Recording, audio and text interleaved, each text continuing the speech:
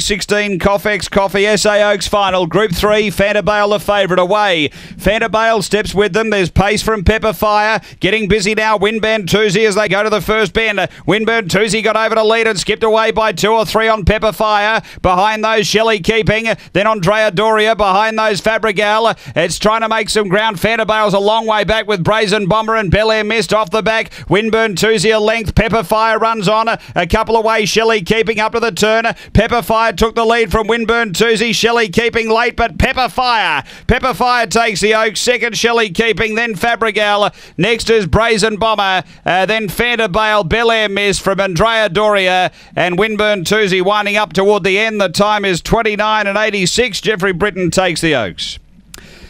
Numbers are 3, 1, 6, and 4. Number 3, the winner, Pepper Fire. Jeff Britton. Uh, C. Halsey and L. Britton, a black bitch, July 2014, Spiral Nikita West on Bluebird. Beaten by Brazen Bomber in that close photo in the uh, heat last week and was uh, too good here tonight. Number three. Second, going to one Shelley Keeping, Brett Bravo. A black bitch, June 2014, Swift Fancy, Naomi Keeping. And uh, third to sixth, the local Fabrigal for Robin McKellar.